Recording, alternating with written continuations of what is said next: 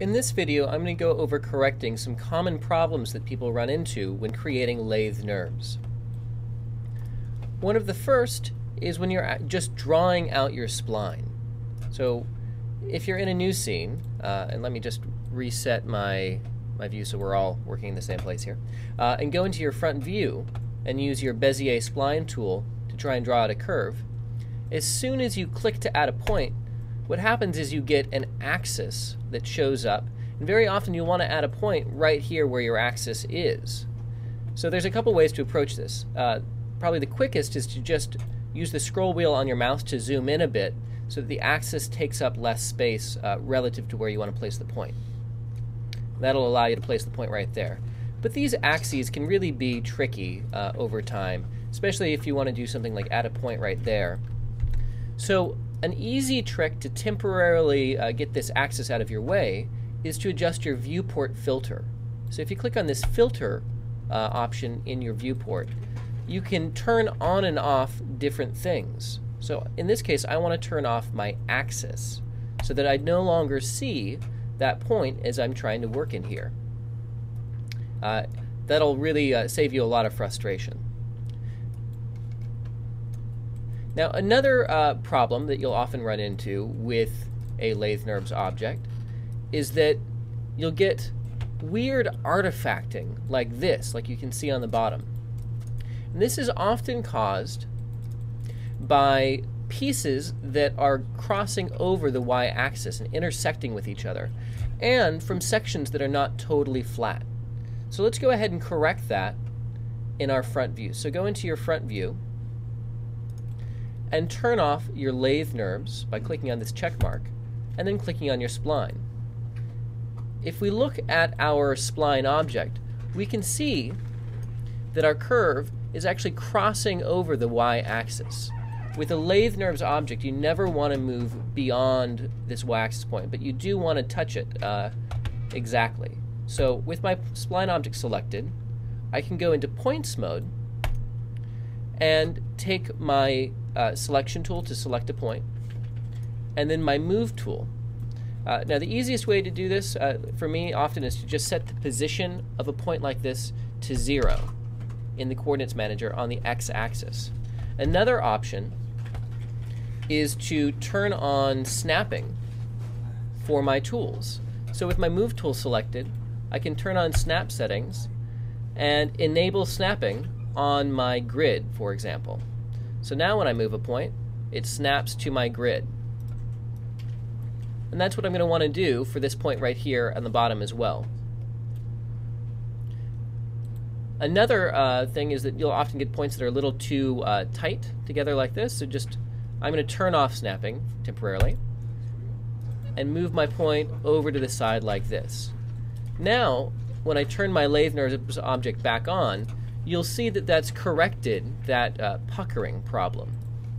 Another problem that you'll sometimes run into, especially if you're zoomed in really tight on an object, is you start to see these polygonal edges, and it's no longer looking round.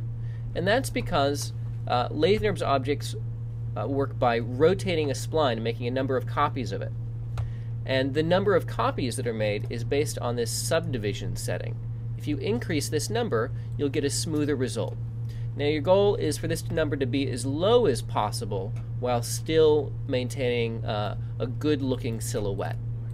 And the reason you do that uh, is that if you start to get too many polygons, like say setting like this, it'll really slow down your viewport and your ability to work with the object. So uh, I believe the default is uh, 36, and that's uh, more than sufficient uh, in most circumstances, especially if you're not zoomed in too close. Uh, another thing that'll happen is you'll sometimes get really thin portions on a lathe NURBS object, and that's because your points are a little too close to this midline. So again, just select that point and drag it over. Now, uh, one other error that you'll often see or, or get is uh, dimples or puckering. And that's caused when you have a point coming towards the y-axis that doesn't have a flat uh, handle on it. So what you want to do is go to your lathe NURBS, select your spline. Uh, I, I, what I did is I turned off my lathe NURBS, excuse me. I go to my spline, and I look at this point on the midline. My first thing that I check is whether or not it's located at x0. So it should always be at x0. The next thing is that I want to make sure that it has axis handles. Right now it's a hard point, so it doesn't have soft interpolation. So I'm going to right click and choose soft interpolation. What that does is it gives me these handles, and I want to drag those handles out flat. like this. Uh, I can now adjust uh, my other point that's leading up into it, and I want a nice smooth line like this. So again, your, your goal is to have a straight line heading into all of these joins.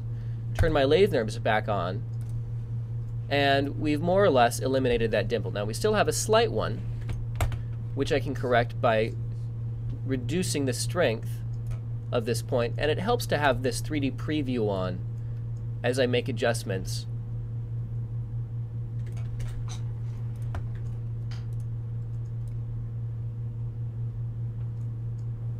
Like this.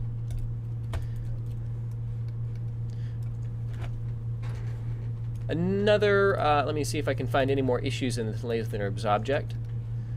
Uh, you'll also sometimes get a hard edge, like what you see right here. And that's sometimes due to a point with broken handles. Now, that's not exactly the circumstance here. Right now, the handles are just too short. If I were to make them longer, that would eliminate most of that error. But you'll sometimes see a point that has an edge like this. And that gives you a really hard crease, and you really want to avoid hard creases like that if you can. Uh, let me give you another example you might end up with a spline that looks something like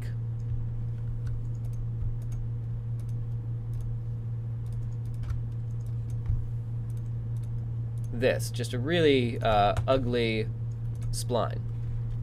Uh, again, I'm going to set the uh, X position to this to zero. And I'm going to turn off close spline. There you go, so it stays open. And I'm going to have this wrap around my lathe NURBS. Now the problem that we're getting here is that all of our edges are way too sharp. To save ourselves from a really crisp edge, the easiest way to do that is to select your point and choose right click and choose soft interpolation and that'll smooth out your point uh, pretty easily. Another option if you want to maintain these angles really exactly is to go into your front view and select any of the points that form corners. Right click and select the chamfer tool. If you click and drag to your right, you can interactively round out your corners. Uh, this is really fantastic for mechanical modeling. So you can do all of your modeling by just adding in linear points, these straight hard edges, and then round them out after the fact. So if we take a look at our cup now, we now have very nice, smooth, precise roundings on the corners. Now those are just uh, some of the problems you might run into with the lathe NURBS. I'm sure that there are more that exist, but uh, that should at least get you started.